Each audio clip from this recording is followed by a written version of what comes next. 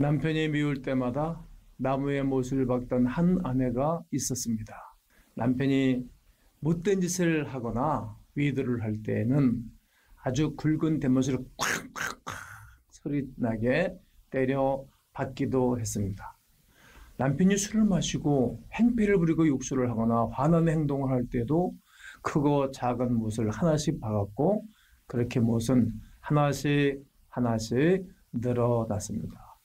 그러던 어느 날 아내는 남편을 불러 못이 박힌 나무를 가리키며 이렇게 말했습니다. 여보, 이 못은 당신이 잘못할 때마다 내가 하나씩 박았던 못이에요. 이제는 더는 못 박을 곳이 없네요.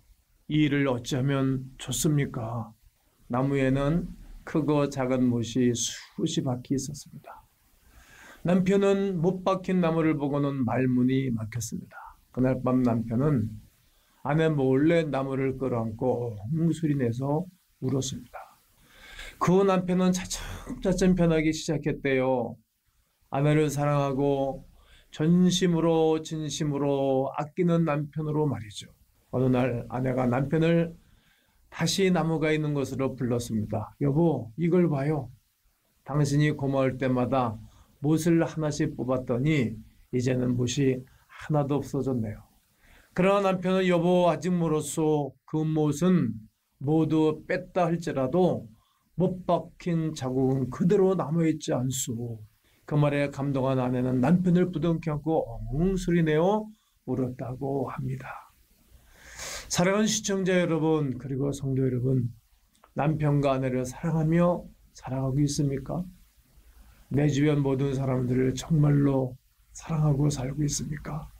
예수 그리스도께서는 우리를 사랑하셔서 친히 양손과 양발의 못을 박히시고 나무에 친히 달려 돌아가셨습니다. 하지만 때로 우리는 그 사랑을 그 은혜를 잃어먹고 살 때가 많습니다. 언제 그런다는 듯 세상 즐거움을 쫓으며 살 때도 많습니다. 하지만 예수님의 양손에는 못자국이 아직도 남아 있습니다. 그것은 아직도 우리를 사랑하신다는 뜻이고 아직도 우리를 기다리신다는 뜻이기도 합니다. 그 사랑 오늘도 풍성히 채우시기를 원합니다. 그 사랑 누리고 그 사랑 느끼고 그 사랑을 베풀며 오늘 하루를 사시면 좋겠습니다. 그렇습니다. 오늘은 이렇게 기도하면 좋겠습니다. 주여 예수 그리스도의 못자국으로 그 사랑을 깨닫게 하옵소서. 주여 예수 그리스도의 못자국으로 그 사랑을 전하게 하옵소서. 주여 예수 그리스도의 못자국으로 이제는 형제 자매 위하여 내가 못 박히게 하옵소서.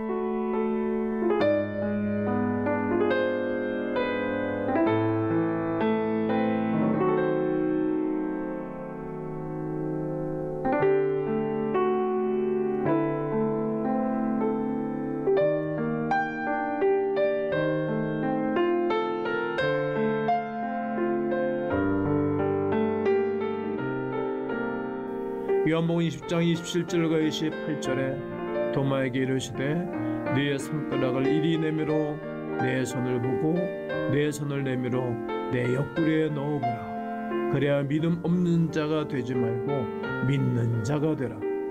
도마가 대답하여 이르되 나의 주님이시요 나의 하나님이시니이다. 십자가 십자가 십자가 십자가 상경원 해도 마음이 아프고 그 사랑과 감동이 한없이 몰려옵니다. 주체할 수 없는 그 사랑이 이제는 형제 자매를 위하여 내 손, 내 발, 내 머리에 못 박히고 가슴 안 쓰며 살게 하옵소서. 예수님의 첫 번째 죽음 예고는 내 죄를 위한 것이고 두 번째 죽음 예고는 당신과 주변 사람을 위한 것이고 세 번째 죽음 예고는 원수와 하문학공과 탁을 위하여 죽으라고 하시는 음성을 알게 하심을 고백합니다. 내 죄, 너의 죄, 인류 모든 이의 죽음임을 깨닫나이다. 이제 나도 그리 살게 하옵소서.